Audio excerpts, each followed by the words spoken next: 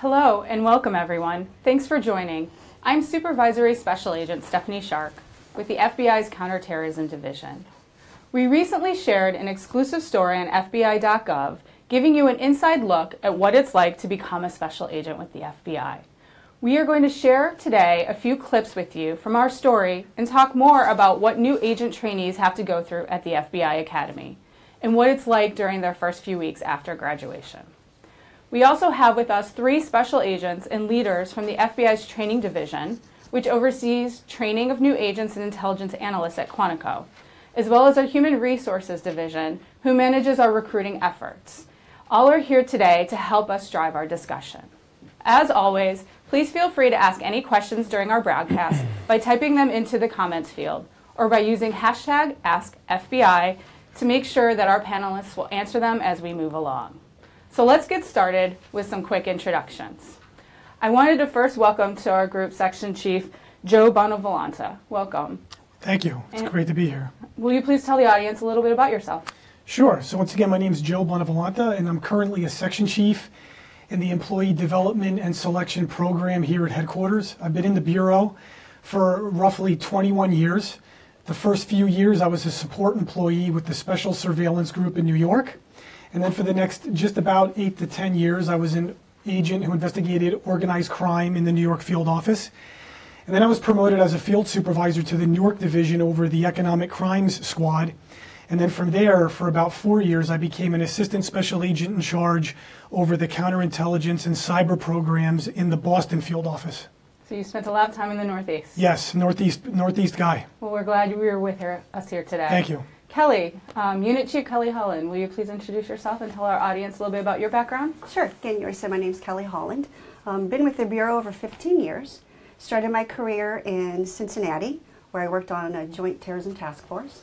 Then I transitioned up to Anchorage, Alaska. Worked up there for about six plus years, and then um, moved down here. Started my management career um, with the FBI, and I am currently um, a unit chief of the training management unit. So, those of you out there that are interested in becoming a special agent, when you report to Quantico, you'll come to my team. Wonderful, thank you. And finally, we have Supervisory Special Agent Gary Lauren. Welcome. Welcome, thank you. Uh, my name is Gary Lauren. I have 18 plus years in the FBI now. Uh, I spent my first 15 years up in the Portland Division in the Bend R in the Bend uh, RA, which is a, a small office there in Central Oregon. I'm now with the Tactical Training Unit, as a su- uh, supervisory special agent there, and I train the new agents on uh, tactics as they get uh, when they come into the at, when they come to the academy. Wonderful. We look Yeah. forward to hearing more about all the tactical training Thank you, later in our program. So now that you've met a little bit about our pa- panel, and since we're talking today about what it's like to become a special agent and highlighting our real life series on FBI.gov, let's now turn to a clip about the very first day new agents arrive at Quantico. If you're interested in seeing more clips I as we move like along, please be sure to check out everyone really FBI.gov also new agent series nervous. to see more. Um, I had a decent idea of what to expect, but no idea who I was going to be training with um, or what the environment was really going to be like on a day-to-day basis. I didn't really know what to expect when I first showed up. I've never done anything like this. You work so hard and you're actually finally here. It takes so long to get here, and then you get here and it doesn't honestly qu- feel quite real. So Kelly, when you did your introduction, you said if we have a new agent and they come to Quantico, they're likely going to interact with you. Will you tell us a little bit about what new agents can expect for their first week in arriving at Quantico? Oh, absolutely. First and foremost, they're going to be uprooting themselves from wherever they are in their support systems, and they're going to be reporting to the academy, as you saw in the video. Um, there's just a myriad of emotions that they're going to be going through. Uh, they're going to be overwhelmed. They're going to be meeting uh, 50 new people in their class. Um, they are going to be getting acclimated to their surroundings, and um, they're going to be excited. They're going to be anxious, um, somewhat intimidated by their surroundings, because again, it's it's a lot thrown at them at one time. They're going to be issued gear their first week. They're going to meet their support staff and their their team from my unit. They're going to help them navigate the the 20 plus weeks of training. They're going to take their first initial PFT. So there is a lot thrown at them that first week, and um, my team is there to support them every step of the way. And tell us a little bit about what their living conditions will be like. they will have a roommate. And for most of us um, who've been on our own or we have families of our own, trying to again acclimate to having a roommate, um, that's a big adjustment. The other thing is um, it's going to be a lifestyle change for them because they're not going to have their phone with them 24 7 when they're in their classrooms and during instruction. They will not have access to their cell phones. So, um, unfortunately, that's a huge adjustment for them and for their families during that, that five month um, separation. So they will be not watching FBI Facebook Live events in the middle of their training. No, or tweeting what's going on. No, they will not. Do you, either of you gentlemen remember what it was like when you first showed up at the academy? What you felt and experienced? I sure do. I, to echo, you know, the, the statements that were made earlier was a tremendous source of uh, pride. I had been in the FBI for a little over four years before becoming an agent, Okay. and uh, so for me there was definitely the familiarity with the agency already, but still making that jump over to be an agent. And at the time, the academy was 16 weeks opposed to now, which is about 21 weeks.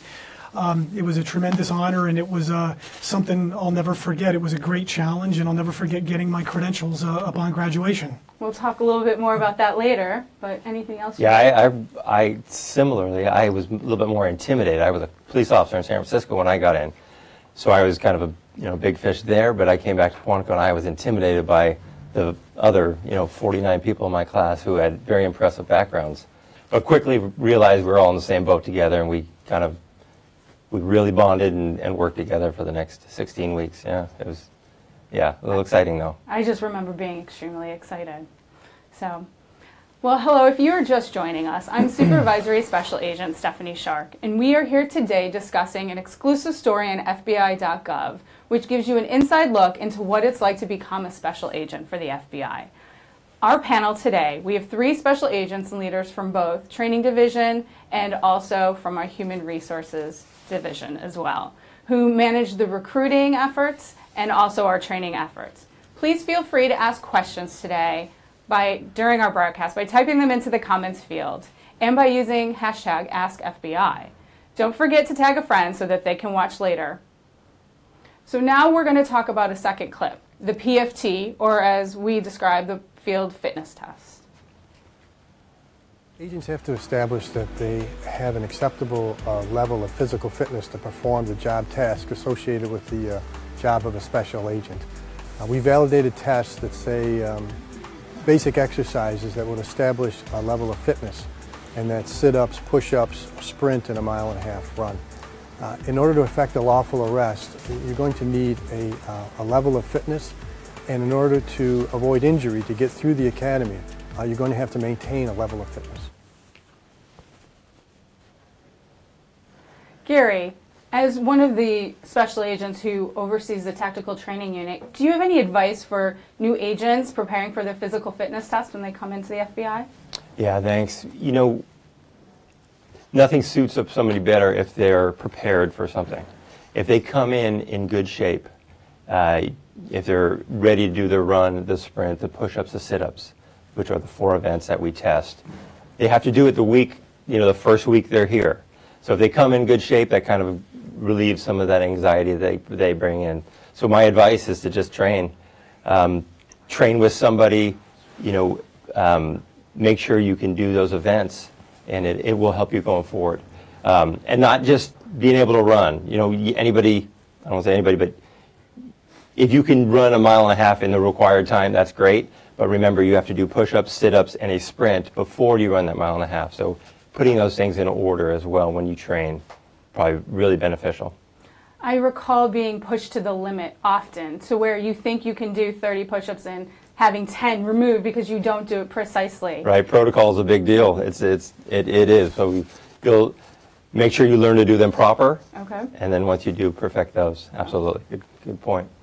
Now, Joe, you work in our human resources division, and um, can you tell the audience who want to become FBI agents what kind of backgrounds our human resources division is looking for when looking for qualified candidates? Sure. Well, when you look at the, the FBI, it's, it's primarily what makes this such a, a great organization is we have so many different programs that we work from terrorism to counterintelligence to organized crime to cyber. So, because of all the programs that we're responsible for investigating, we really are looking for applicants that really have a, a breadth of experience and diversity. And as far as breadth of experience goes, you know, we're, we're looking for candidates, especially nowadays, that really have a background in the STEM principles, which is really science, technology, engineering, and mathematics. It's not the sole uh, foundation that we're looking for by any means, but really, when you look at advancing technology and how that really touches upon every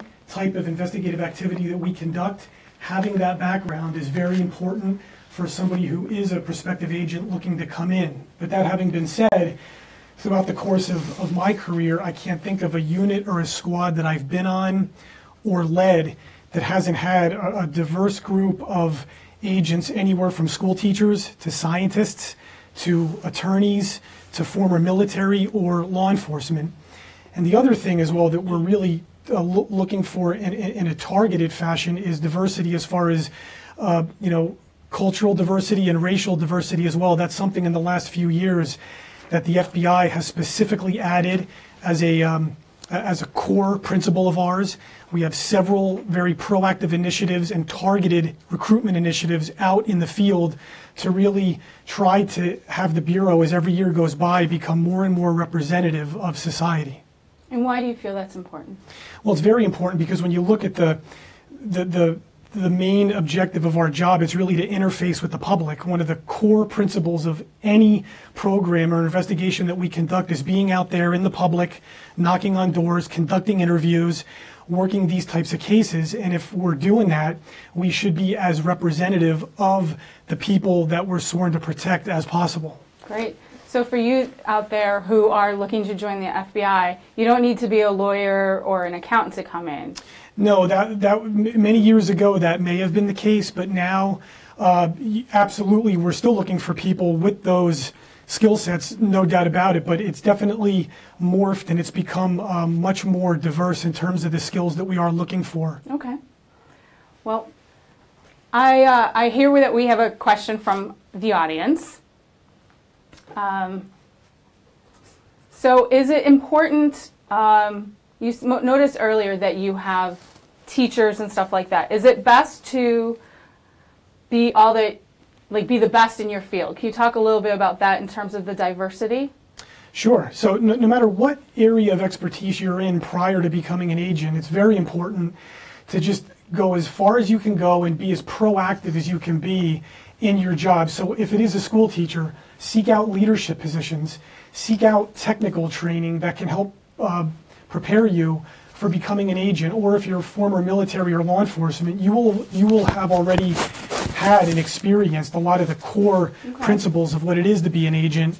Uh, but it's one of those things where you can always grow and build from a technical aspect or even a leadership aspect. Now, I know Gary is also a, a previous law enforcement officer, and we have we have a question. Ray out in the audience is curious. If you are law enforcement, is the FBI still a place for you in today's FBI? Oh, absolutely. We're certainly encourage police officers to come in. They bring more street level knowledge of how to deal with people and, and, and how, how things happen on the street. It's a fantastic background to come in the FBI with, for sure.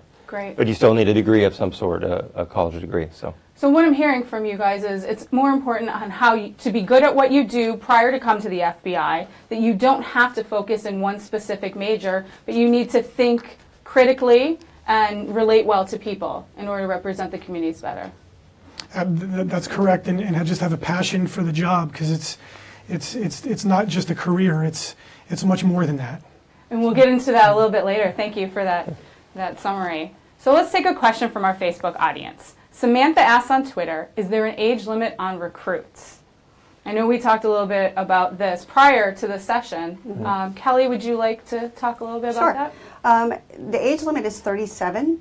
So what we encourage you to do is if you're interested in um, a special agent position with the FBI, that you start that process by reaching out to your applicant coordinator, going online, doing your research um, by the age of 35.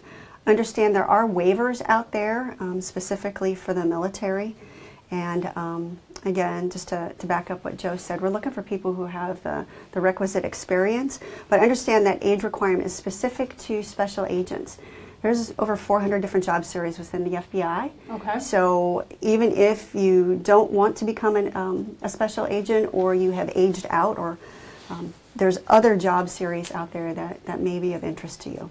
And what is the average age? Does anybody know the average Yeah. age of the FBI recruit? Yeah, um, in the graduating classes, it's 31. Okay, so it's not straight out of college. No. No, and Joe, can you tell us a little bit about that? Sure. I, I think the, the reason why you see that trend is this obviously is a, it can be a complex job at times, and we have a tremendous responsibility. And that's why we're looking for people that not only have that academic expertise, but also that continuous work and life experience. And the reason why you see that average age of an agent recruit hovering around the early 30s is because we're looking for people that have been in that professional workforce for a while and bring in that breadth of experience that really can can show maturity because especially when you're assigned as an agent to a field office and you're working very complex investigations you need to have that sense of maturity because when you're out there on the street conducting operations in essence arresting people um, you know preparing for trial it's one of those things where people need to be able to count on you and you, you just need to have that operational maturity and that common sense to do the job Great. Well, let's talk about a little bit about our basic field training course. And we're going to go to a clip to start it out. The basic field training course, the BFTC, is a monumental shift in how we used to do our traditional training, which was we had separate training courses for each of the intelligence analyst and the new agent trainees or NATs. And we have found that in order for us to be more successful in identifying and minimizing the threats, we needed to have a combined team. So, Kelly, we obviously saw you in that clip, Yep. um, and we're glad you joined us here today. Can you you. tell us a little bit about why integration is so important now in the basic training course? Oh, absolutely. So the um, intelligence analyst and the agents used to train separately. And what that did was how that translated to the field is that we were not working um, as closely together as we could be and as we should be. So we transitioned the training to where it's now integrated because we want that to be mirrored in the field office. What that means now and how that's translated is so I might be the case agent on a case, but in a lot of ways, I consider an analyst as a co-case agent. Um, they're going to help me sometimes go out and do interviews with me. Um, whereas before, that was unheard of. We didn't do that. It's important now to have those subject matter experts with us when we need them, and it's more of a team effort, and that has increased the effectiveness of the FBI. Yeah, it sounds very collaborative. Mm-hmm. So, that's wonderful. For those of you just joining us, I'm Supervisory Special Agent Stephanie Shark. We are here today discussing an exclusive story on FBI.gov that gives you an inside look at what it's like to become a special agent. Our panel today, we have three special agents and FBI leadership who are here from both the FBI's training division, which oversees the training of new agents and intelligence analysts at Quantico, and also our human resources division, who manages our recruiting efforts. Feel free to ask questions during our broadcast by typing them into the comments field or by using hashtag AskFBI. And don't forget to tag a friend so they can watch the video later. Now we're going to go to our fourth clip, which talks about law enforcement and operational skills. In order to prepare for the field, new agents must receive the necessary law enforcement training and operational skills to safely work cases and carry out investigations. From learning about everything from defensive tactics, firearms, to tactical driving, trainees take part in realistic exercises during their time at the FBI Academy. Now let's take a look.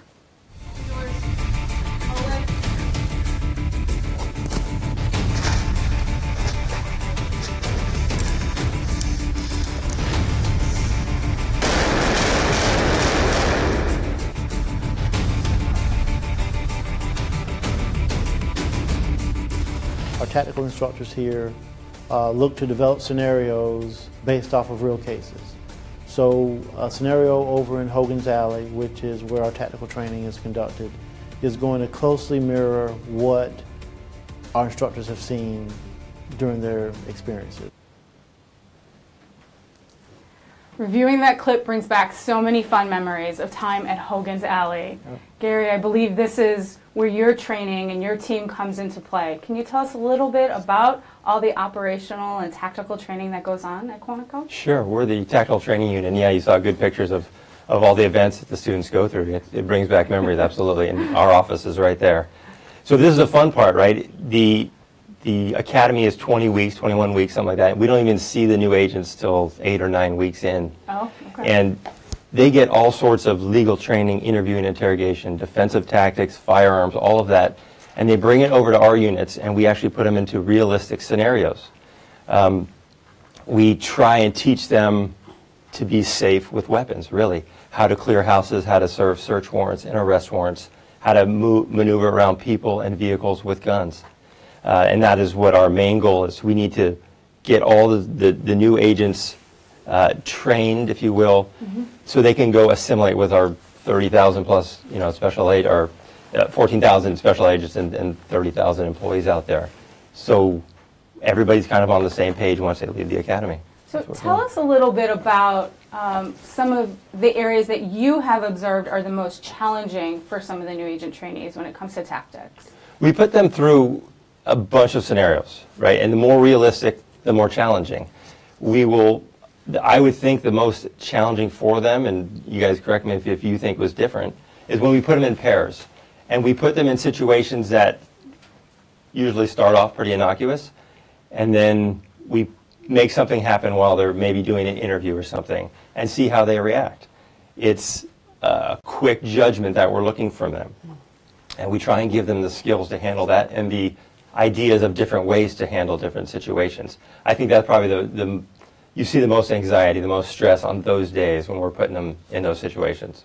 And when you say make something happen, I know you don't want to give away the secrets, Yeah. but give us an example of something that would happen in the middle to surprise an agent doing a random interview. That's a good question. So in Hogan's Alley, we have a bank, probably the most robbed bank in America. we have them sitting in there talking to the manager about something happened or a, a fraud case or something, and while they're in there, we have the, the bank gets robbed, and they have lots of different things that they can do. You know, we put them in this situation; they're kind of at a disadvantage, and something goes on, and we see how they react, and there's just a myriad of ways that they, they can react, and and we see what they do. That sounds like a lot of fun. Not only for them, but also for the It instructors observing absolutely these is, behaviors. yeah. Now, Joe, this tied back to a little bit of what you were saying about who we recruit and the importance of coming from a variety of fields and making decisions. How do you feel that the tactics and the thinking um, ties into who we're looking for? Well, once again, you know, we're, we're looking for people that, that bring in that breadth of experience. And it, mostly, the, the word I keep coming back to is maturity. That's the key. We spend so much time out on the streets, and depending on what program or violation you're working in, in many different environments. We can find ourselves in very formal professional environments. Mm-hmm. And we can also find ourselves in some very dangerous and fluid environments. And that's when we just need to make sure that people have that inherent maturity and common sense to be able to quickly analyze the situation and act accordingly.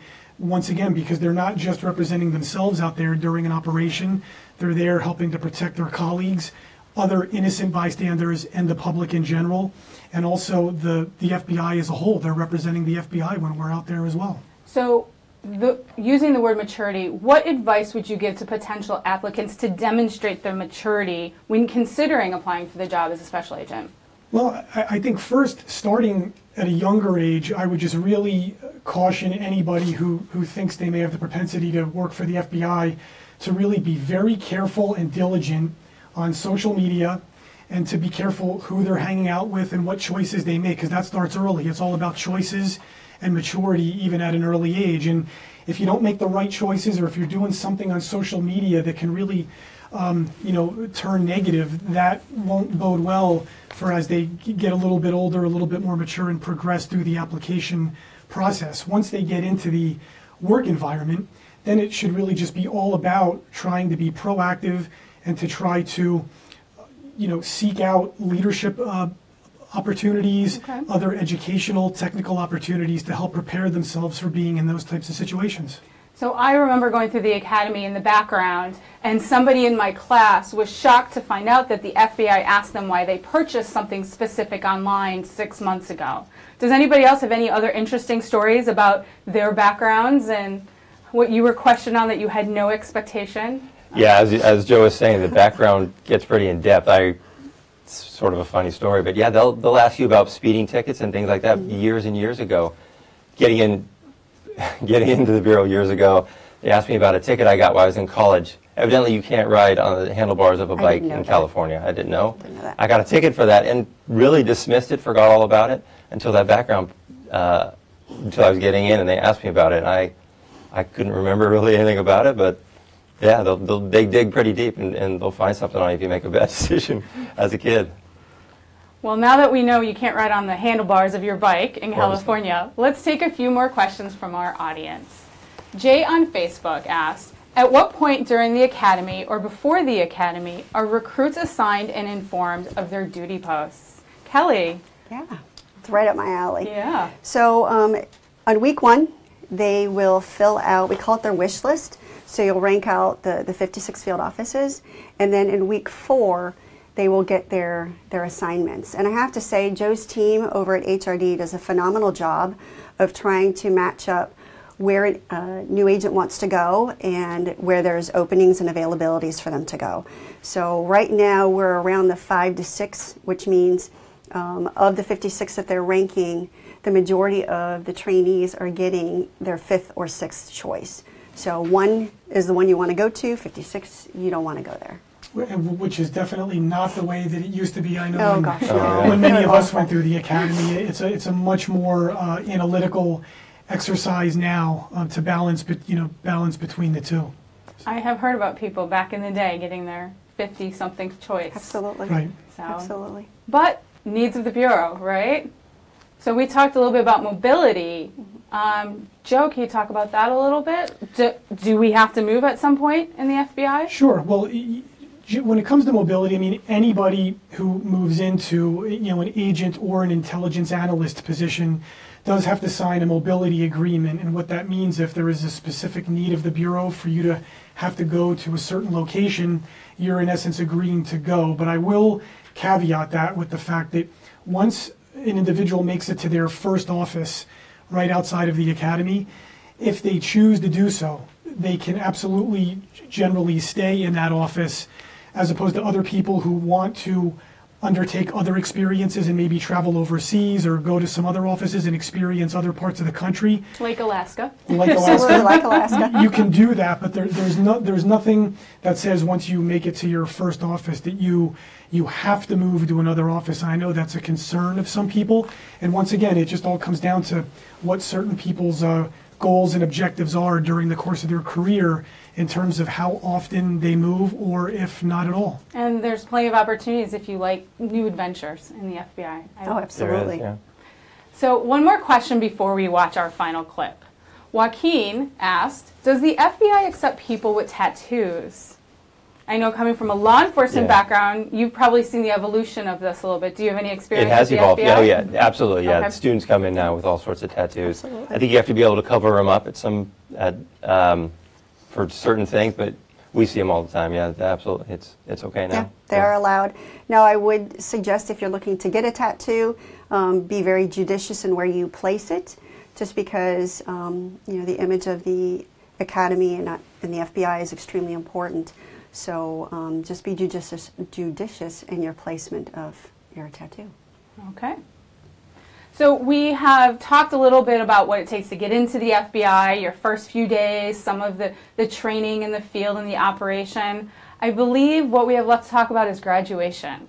The graduation ceremony at the FBI Academy marks the culmination of 20 weeks of hard work and sacrifice when new agent trainees become special agents of the FBI. We're now going to go to a video. Getting my creds was really emotional. Just the fact that like this actually really happening. This is all this hard work I put in is you're standing in line, you're waiting to go up there, and you it kind of starts to set in like I'm gonna become a special agent. Oh, it was a, it was a flurry of emotion all at once. Um, it was a rush, and it was also uh, really gratifying after what we've been through to be able to to walk the stage. So. all of us here today have our own graduation moments and things that were really special to us. But Kelly, you're on the front lines of watching new agent trainees actually get those credentials. Can you tell us about what you observed? Sure. So what you saw in the, the video there was, you know, they're just getting their credentials for the first time. They're realizing, oh my gosh, um, I've been working all my life for this goal and this dream, and I finally have it in my hands. Um, my badge and my credentials. It's a proud moment. It's a proud moment for the student. It's a proud moment for the families because of all of the sacrifices. You know, the students come here um, to the academy and they have training and it's rigorous and it's stressful, but the families are the ones sacrificing at home, keeping the home front going and moving and kids in school and all of that. So it's a sacrifice all the way around. So to see them realize this dream and be a part of that is an amazing um, moment for the staff and for the instructors as well, knowing that we are a part of making the new generation of FBI agents who are going to go forth and you know protect the American people and Yeah. uphold the Constitution. Sort of like changing the guards a little bit, right? We, we give them the knowledge that we have. Hopefully, they go out and do it. And it's ju- just to add on to that, to the families, it's a it is a big sacrifice, and they're not done. They now oftentimes have to move thousands of miles to a new city. They may may or may not know somebody there, and that's where they're going to be for as long as they want. They could either stay there for years or raise their hand and, and, and make a move at some point. But it's a big day. And Joe, we talked a little bit, we alluded to it a little bit earlier in today's program about your graduation experience and why was that moment special for you? a little special because it it really personified the, the fact that the FBI really is a family, and, and those who get into this organization realize that quickly. And for me, my father was a FBI special agent for just about 24 years, and one uh, something that the bureau does, and I think they do very well, is they offer graduates the opportunity, if they choose to do so, to have a, a close relative who may have been an FBI employee to help present their credentials to them at graduation. So I had the pleasure of having my father, along with the FBI director at that time, present me with my credentials, and that was something that was very special for the family, and it just it, it just shows more and more, you know, how much the FBI isn't just a career; it really is. It's it's a family.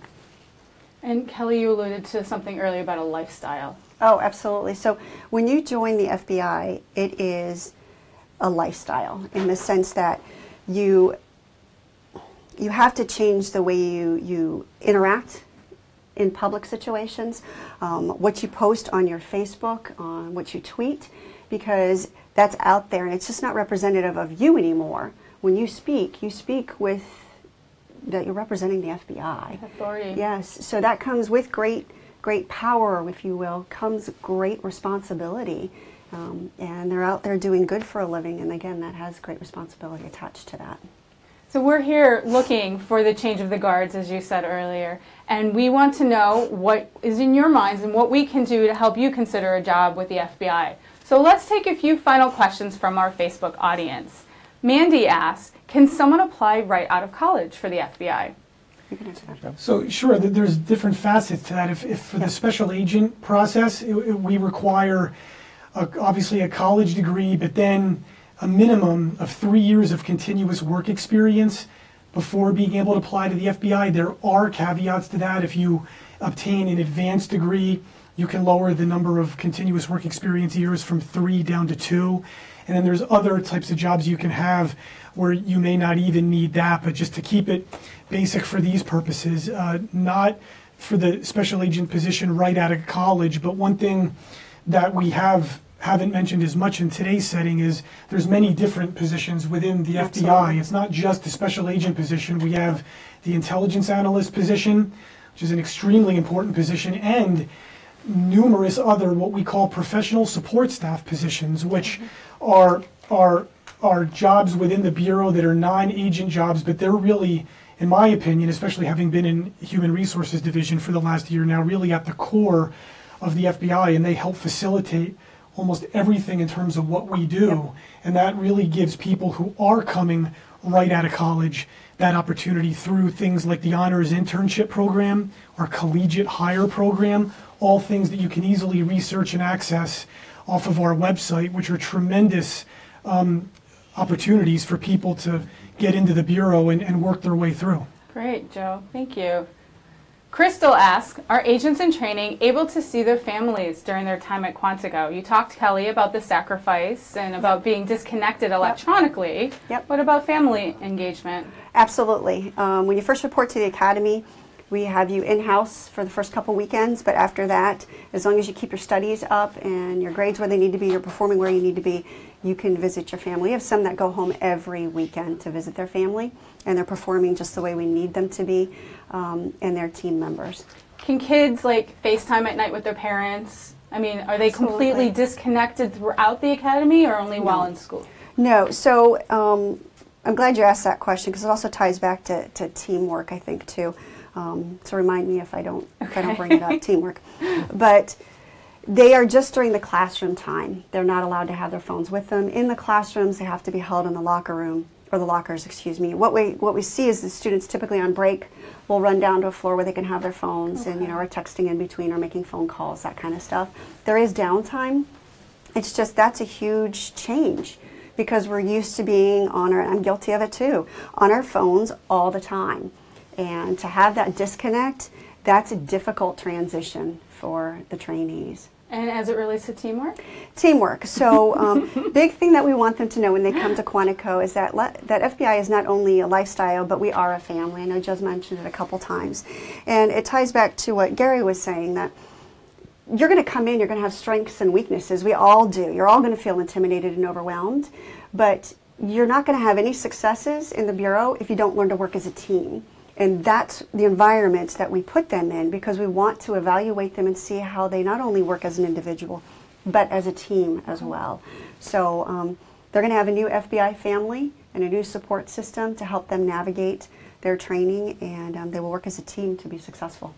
So, in the effort to become an FBI special agent, once you actually get into the academy, our last question, Sheena asks, can you fail out of the academy? Mm-hmm. And if so, does anybody have an example of how that happens? That falls squarely on me.